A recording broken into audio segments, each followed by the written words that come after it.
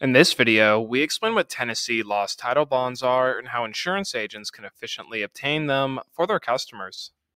A lost title bond is a government required surety bond that protects the rightful vehicle owner from financial harm if the title applicant does not actually own the vehicle.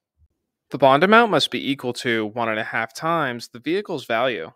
The bond is required for all vehicle title applicants who do not have adequate proof that they own the vehicle and is regulated by the Tennessee Department of Revenue.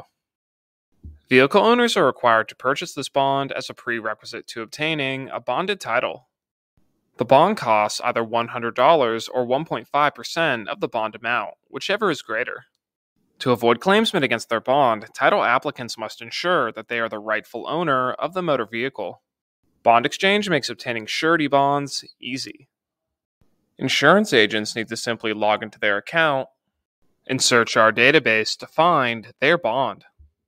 Don't have a login? Then enroll now by going to bondexchange.com and clicking on that big blue Get a Login button and let us help you satisfy your customers' needs.